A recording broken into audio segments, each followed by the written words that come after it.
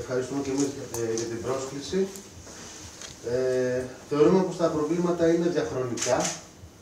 Ε, είχαμε τα ίδια προβλήματα με όλες τις κυβερνήσεις που έχουν ε, περάσει μέχρι τώρα, όπως ελλείψεις ε, υλικών από γάντια, σύριγγες κτλ.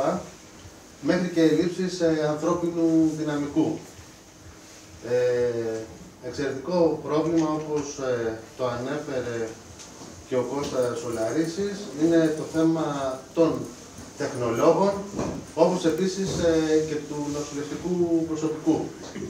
Ενώ ε, το, στο νοσηλευτικό ε, προσωπικό υπάρχει πολιτικά ένας μεγάλος αριθμός, λόγω διαφόρων προβλημάτων προσωπικού υγείας ή άλλων, αυτή τη στιγμή είναι πάρα πολύ λιγότεροι από ό,τι χρειάζεται το Πανεπιστημιακό Νοσοκομείο Λάρισας.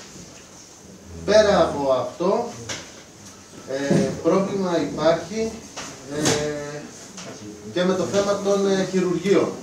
Αυτή τη στιγμή ε, είναι η κερκόπορτα για την ε, εισβολή του ιδιωτικού τομέα στην, στο δημόσιο σύστημα υγείας.